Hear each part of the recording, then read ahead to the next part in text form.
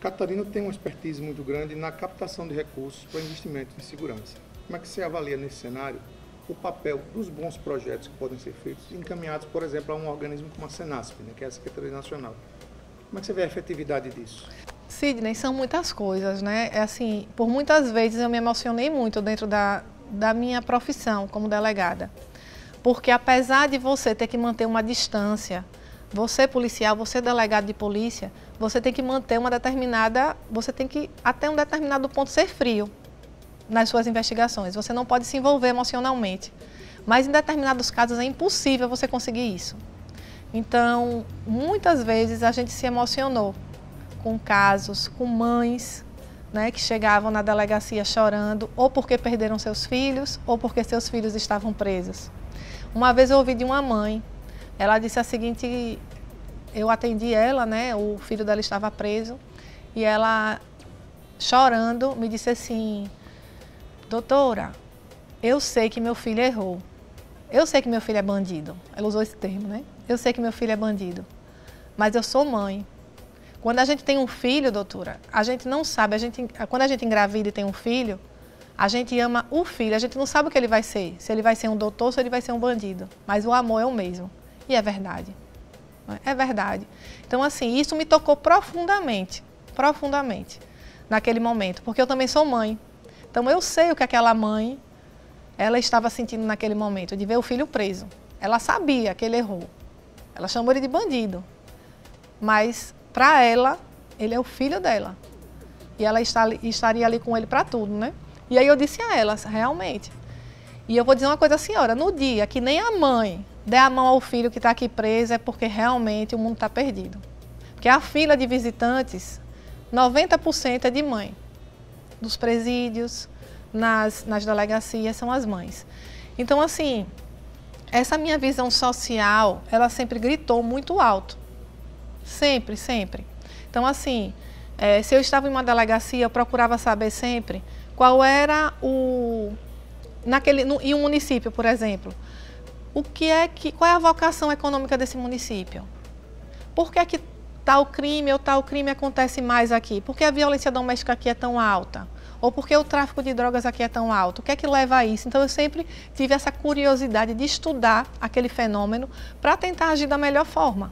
E não apenas instaurar inquérito, pedir prisão e acabou.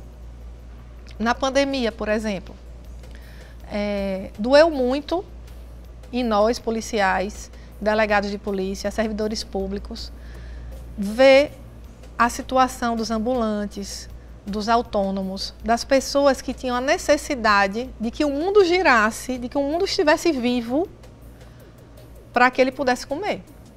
Então, assim, se todo mundo está trancado dentro de casa, como é que fica o vendedor de coco? Como é que fica o vendedor ambulante que vive vendendo sua verdurinha na feira? E aí eu não sei se vocês lembram que teve uma cena onde é, ambulantes eles foram pegos porque não podia, né? E realmente a, a ordem era fechar tudo, porque era uma questão de saúde pública, porque você tinha que pensar, ou morre de Covid, porque não existia nenhuma perspectiva, uma doença nova, ninguém sabia como é que aquilo funcionava, né? No início foi uma loucura, realmente. Eu nunca pensei viver isso na minha vida. Ou abre comércio, se abre comércio, né? O governador Belivaldo Chagas, ele gosta de falar isso. Se abre comércio, o governador era assassino, errado. Se fecha comércio, as pessoas morrem de fome.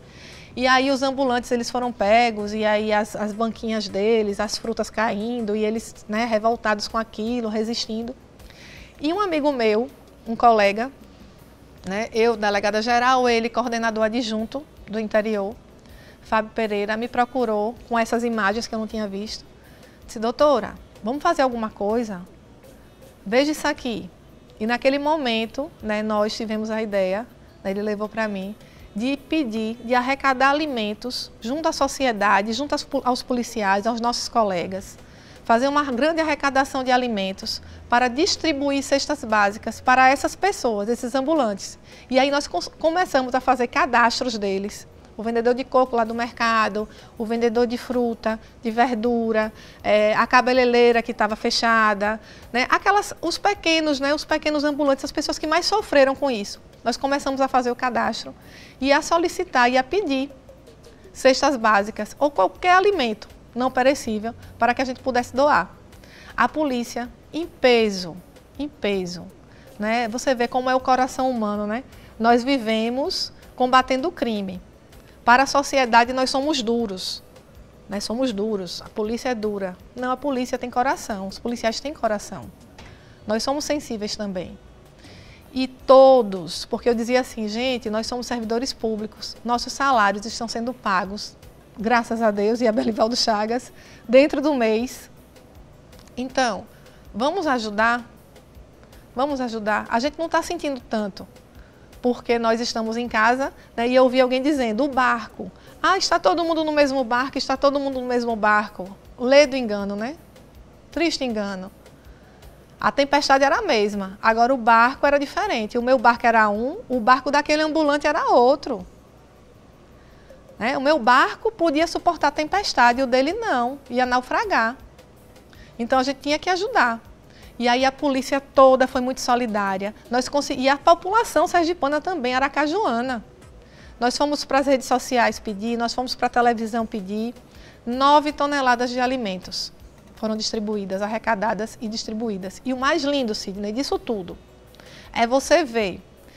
A gente, para humanizar mesmo a polícia, o que é que a gente fez? Essas cestas básicas, elas, eram, elas eram distribuídas nos endereços das pessoas cadastradas. Aquelas pessoas que ligavam, que diziam a situação, a gente ia cadastrando. Para não fazer tumulto, né, fila, não podia ter aglomeração. Quem entregar? Os policiais. Na viatura da polícia, com o fardamento da polícia, Caracterizado. caracterizados. Teve policial de chegar na minha sala chorando, me contando, emocionado. Chorando. Você vê aqueles homões, né? Tudo grandão. Chorando. De ver que a pessoa recebia, tomava aquele susto quando via, porque não acreditava né, que ia receber a cesta básica ali. A polícia A polícia fazendo isso, entregando, e a pessoa mostrando, não tinha nada para dar aos meus filhos hoje. E abrir os armários, não ter nada. E chegar comida naquele momento ali, né? Então nós fizemos isso por quatro meses, praticamente, com essas pessoas. E conseguimos manter. Então, assim, foi muito bonito de ver. E aí eu me pergunto, e pergunto a você, ah, foi Catarina Feitosa? Não. Não foi Catarina Feitosa. Foi toda a Polícia Civil, todos nós de mãos dadas. A gente conseguiu, porque juntos nós somos mais fortes. Né? Uma voz sozinha é uma voz.